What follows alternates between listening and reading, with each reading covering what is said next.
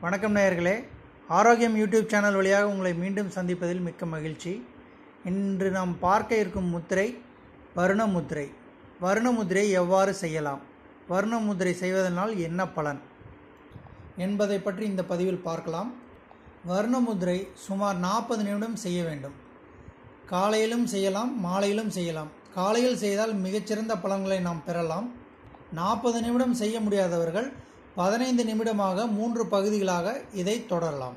இந்த முதிரை தொடங்கும் முன் நல்ல மூச்சை இழுத்து விட வேண்டும். பிறகு இதை நாம் செய்யலாம். சளி இருமல் அதிகம் இருப்பவர்கள் இந்த முதிரையை செய்யக்கூடாது. வாதம் மற்றும் கப தொல்லையால் பாதிக்கப்பட்டவர்கள் இதை செய்யக்கூடாது. வருணமுத்திரை செய்கிறது எப்படிங்கிறது இந்த பதிவில் நம்ம பார்ப்போம். வருணமுத்திரை செய்கிறதுக்கு தரையில் ஒரு விரிப்பை விரிச்சுக்கணும். விரிச்சதுக்கப்புறம் பத்மாசனத்துலேயோ சுகாசனத்திலையும் நம்ம அமர்ந்து இதை செய்யலாம். ரெண்டு கைகளிலையுமே இதை நம்ம செய்யணும். காலையில் செய்யலாம். காலையில் செய்ய முடியாதவங்க சாயந்தரமும் செய்யலாம்.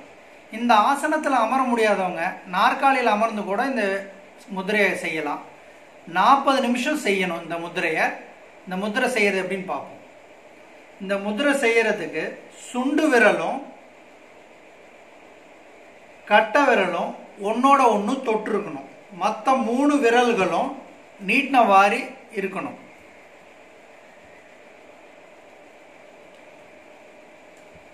நாற்பது நிமிஷம் செய்ய முடியாதவங்க பதினஞ்சு நிமிஷமா மூணு பகுதிகளா இதை செய்யலாம்.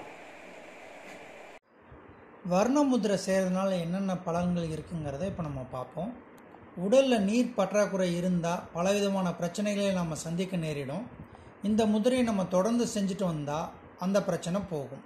தோல் வறட்சி தோல் பிரச்சனை இது எல்லாமே தீரும். தோல் நல்லா மினுமினுக்கும். தண்ணீர் பற்றாக்குறைனால நம்ம உடம்புல இருக்க செல் டிஷ்யூஸ் எல்லாம் பார்த்திங்கன்னா சோர்விழந்து இருக்கும். இந்த முதிரை செய்கிறதுனால அந்த பிரச்சனை தீரும். இந்த முதிரை தொடர்ந்து செய்கிறதுனால ரத்த ஓட்டம் அருமையாக இருக்கும். கெட்ட ரத்தம் இதெல்லாம் வெளிப்பட்டுரும். மொத்தத்தில் பார்த்தா ரத்தம் சுத்திகரிக்கப்படும். சளி அவதிப்பட்டிருக்கும் போது இந்த முதிரையை நம்ம செய்யக்கூடாது. வாதம் சார்ந்த பிரச்சனையை இந்த முதிரையை தொடர்ந்து செஞ்சால் போயிடும். பளபளக்கும் முகத்தோற்றம் வேணும்னா இந்த முதிரையை கட்டாயம் செய்யணும். கண்களுக்கு உள்ளே ஏற்படக்கூடிய வறட்சி தண்ணீர் அல்லாத ஒரு நிலைமையை இந்த முதிரை சரி செய்யும். இதை செய்கிறதுனால அந்த கண்ணில் ஏற்படக்கூடிய தொற்றை அது ம காலி பண்ணும். மலச்சிக்கல் மற்றும் குடல் புண் இதையும் இது சரி செய்யும். இந்த வீடியோ பிடிச்சவங்க கண்டிப்பாக லைக் பண்ணுங்கள் ஷேர் பண்ணுங்கள் கட்டாயம் சப்ஸ்கிரைப் பண்ணுங்கள் மீண்டும் ஒரு அடுத்த பதிவில் நான் உங்களை சந்திக்கிறேன். நன்றி.